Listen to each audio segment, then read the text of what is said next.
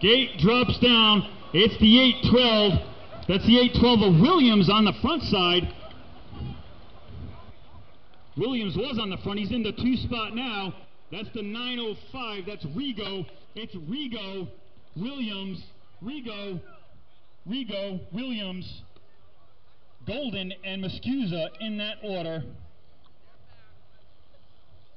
That's Williams and Rigo battling out for the transfer spot.